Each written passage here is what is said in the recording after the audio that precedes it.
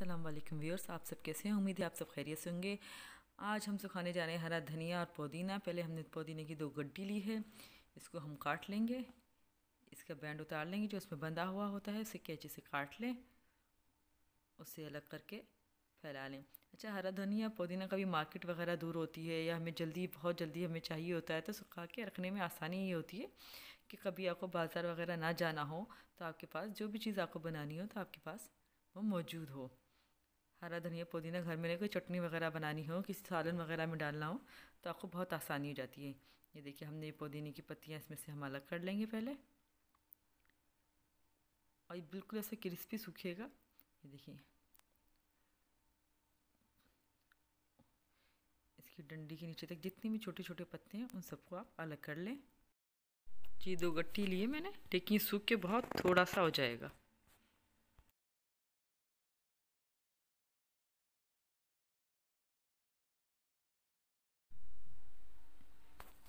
इसे हम अच्छे से अलग कर लेंगे। सारी पत्तियाँ इसमें से निकाल लें। ये देखिए, सारी पत्तियाँ मैंने इसमें से तोड़ ली हैं बड़े से बाउल में डाल लिया है। प्याले में बड़े से डाल लें ताकि अच्छे से वो धुल जाए, वॉश हो जाए। चले धुलने चलते हैं इसे। ये देखिए, हमने इसे धो लिया है। तो कि हमने छन्नी से छान लिया है। अब हम इसे एक साफ़ कपड़े पे फैला देंगे। साफ़ सुथरा कपड़ा लेके इसमें पत्तियों को अच्छी तरह फैला दें। पहले छन्नी से अच्छी तरह पानी इसका निचोड़ लें। अब इसी कपड़े की मदद से हम इसे इसे फैलाने के बाद इसी कपड़े से हम इसे आहिस्ता आहिस्ता खुश करेंगे। अच्छी दो गट्टी ली थी, आप चाहे तो चार छः जितनी आपको आसानी से आप कर सकें। ये देखिए हम इस कपड़े की ही मदद से इसे खुश कर लेंगे।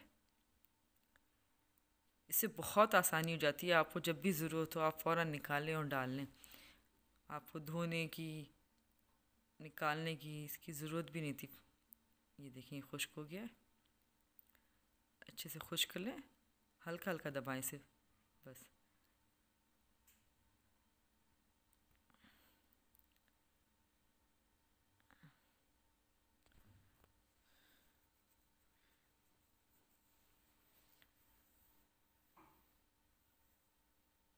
देखिए इसका पानी।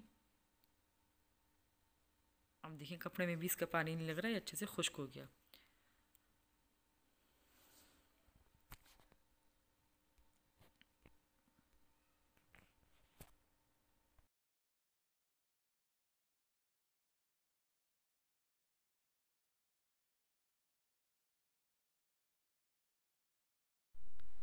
देखिए पानी इसमें अच्छे से खुश्क हो गया है। अब हम इसे हटा लेते हैं, एक स्टील का थाल ले लें कोई भी ट्रे वगैरह ले लें, उसमें ये डाल दें सारे। सारी पत्तियाँ हम इसमें डाल देंगे।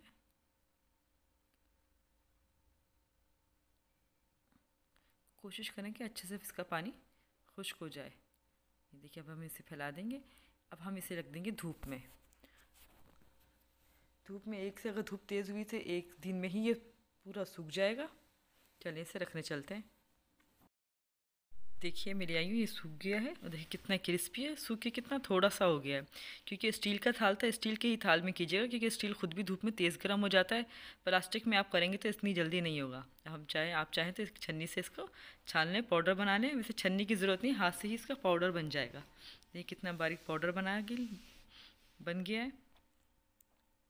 अच्छा इस पाउडर को आप चाहें तो किसी ज़िपर बैग में या किसी भी जार में आप इसे महफूज कर सकते हैं।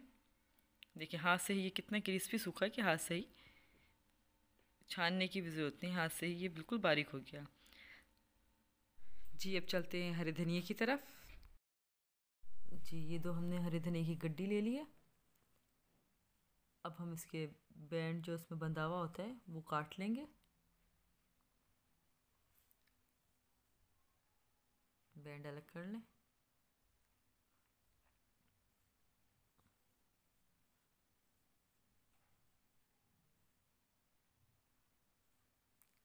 इसे चेक कर लें, इसमें कोई और घास वगैरह तो नहीं है। अब हम इसे वॉश कर लेते हैं अच्छे से। देखिए, हमने इसे वॉश कर लिया है। छन्नी से अच्छी तरह मैंने इसका पानी निकाल दिया है। अब हम इसे एक साफ़ सुथरे कपड़े पर फैला देंगे।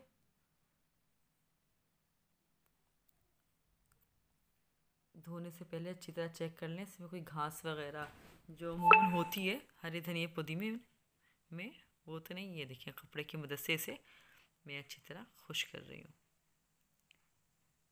ये अच्छे से आराम आराम से हल्के हाथ से इसे, ताकि इसका जो एक्स्ट्रा पानी है वो इसमें जज्ब हो जाए।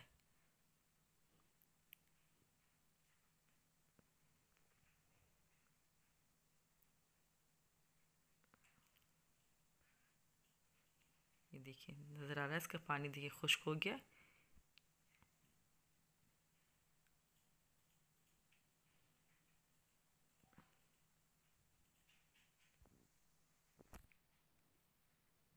देखिए अब इसे इसी में देखिए कैसे अलग अलग हो रहा पानी इसका सारा तकरीबन खुश्क हो चुका है।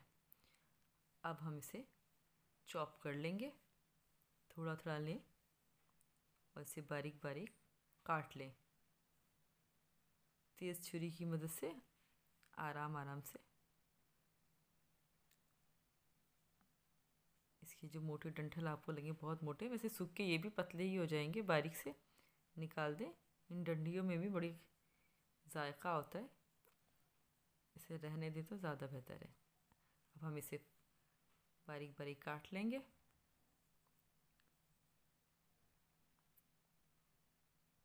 मेरी नाइफ़ चूँकि बहुत तेज़ है, इसलिए मैं आराम आराम से इसे काट रही हूँ।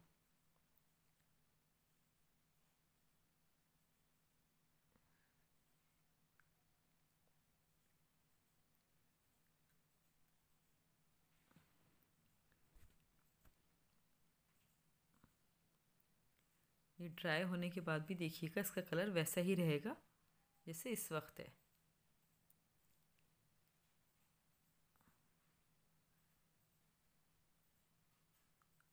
देखिए, हमने इसे बारीक काट लिया है।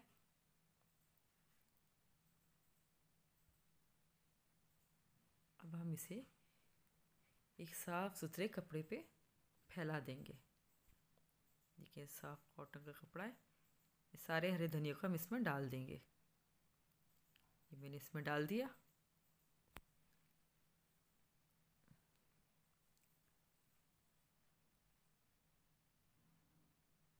इसे हाथ से अच्छा हल्का हल्का, देखिए मैंने फैला दिया। है अच्छा इसे हम धूप में नहीं सुखाएँगे, इसे हम पंखे की हवा में सुखाएँगे। दो से तीन दिन में यह आराम से सूख जाएगा।